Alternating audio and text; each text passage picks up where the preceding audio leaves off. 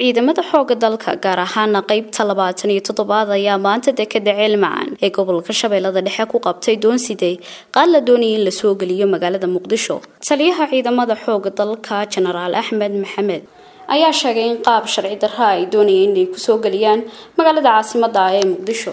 Doontan side qaadka ayaa soo martay xeebta cadaale islamarkaasina waxaa la sheegay inay ku guuldaraysteen inay qaadka ku dejiyaan doonta cadaale xeebta cadaale taasi ay u soo kaceen dhanka iyo xeebta ceelmacaan taliyaha ayaa sheegay qaadkan ay maanta qabteen inay ku wareejiyeen ciidamada dalka soomaaliya.